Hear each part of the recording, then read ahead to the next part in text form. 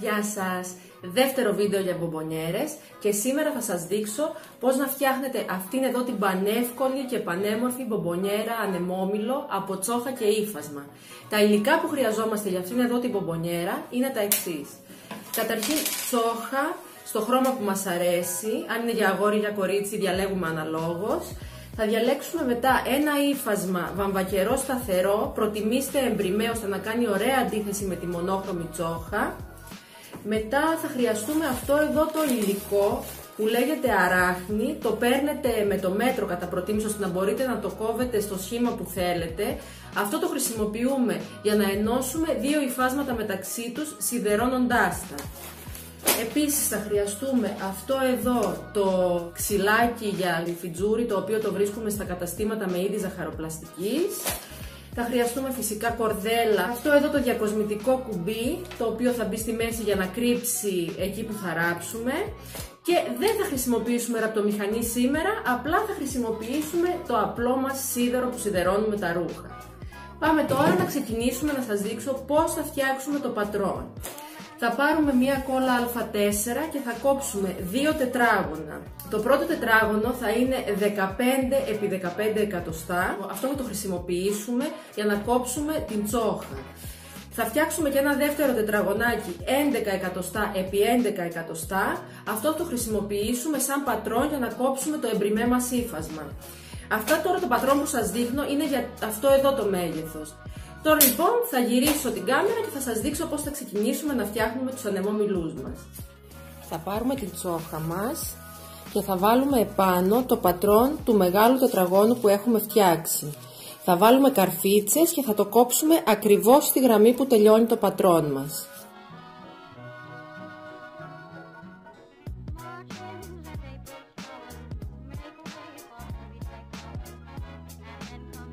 Θα πάρω το εμπριμέ μου ύφασμα και θα τοποθετήσω επάνω το μικρότερο τετράγωνο, θα βάλω καρφίτσες και θα το κόψω ακριβώς στη γραμμή του πατρό.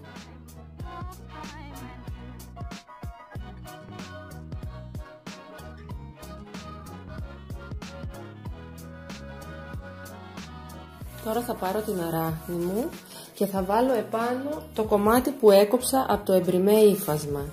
Θα βάλω καρφίτσες ώστε να το σταθεροποιήσω και θα το κόψω ακριβώς εδώ στη γραμμή του.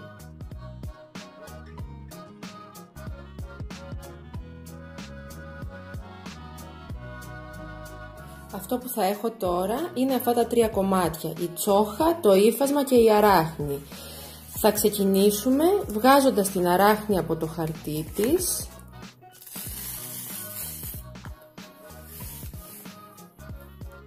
και θα την τοποθετήσουμε ώστε να υπάρχουν ίσες αποστάσεις από την κάθε πλευρά. Επάνω ακριβώς στην αράχνη μας θα βάλουμε το εμπριμέ κομμάτι. Τώρα θα βάλουμε καρφίτσες και θα το πατήσουμε με το σίδερο σε υψηλή θερμοκρασία, χωρίς ατμό προσέξτε ε, και προσέξτε να μην σας λιώσει η τσόχα. Αν βλέπετε ότι πάει να λιώσει τότε χαμηλώστε λίγο τη θερμοκρασία.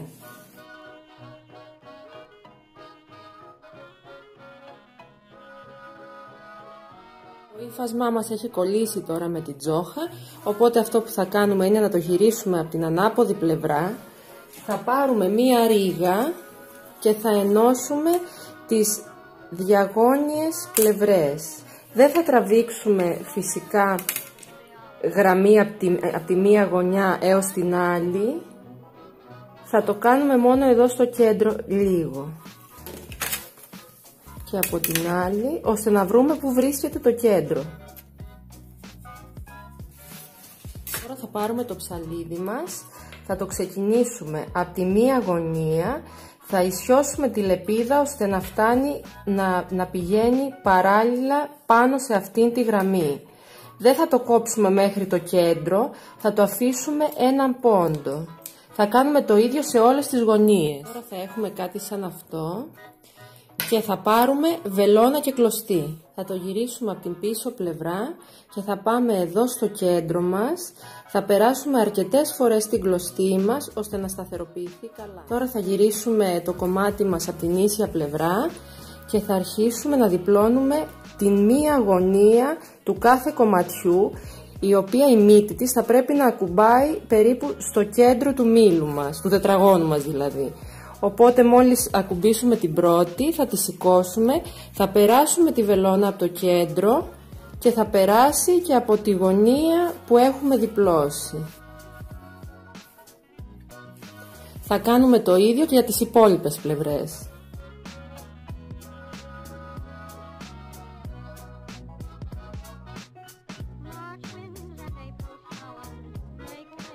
Τώρα που ενώσαμε όλες τις μύτες στο κέντρο του τετραγώνου, θα το περάσουμε μερικές φορές ώστε να σταθεροποιηθούν καλά. Και τώρα που είμαστε εντάξει, θα πάρουμε το διακοσμητικό μας κουμπί και θα το ράψουμε εδώ στο κέντρο του, του ανεμόμυλου. Ράψαμε και το κουμπί μας και τώρα το μόνο που μας μένει είναι να βάλουμε το ξυλάκι για το γλυφιτζούρι πίσω ώστε να μπορεί να σταθεί ο μήλος μας. Θα βάλουμε λίγη ποσότητα στο κέντρο και θα κολλήσουμε το ξυλάκι μας. Θα βάλουμε λίγη ακόμα σιλικόνη επάνω από το ξυλάκι μας. Θα κόψουμε ένα μικρό κομματάκι κορδέλα και θα το βάλουμε από πάνω να μην φαίνεται η ένωση. Αυτό ήταν λοιπόν για σήμερα. Ελπίζω να σας φάνηκε εύκολο και να το δοκιμάσετε. Μην ξεχνάτε να μου κάνετε subscribe γιατί την επόμενη εβδομάδα θα κάνουμε beauty και σας έχω πάρα πολύ ωραίο δώρο. Γεια σας!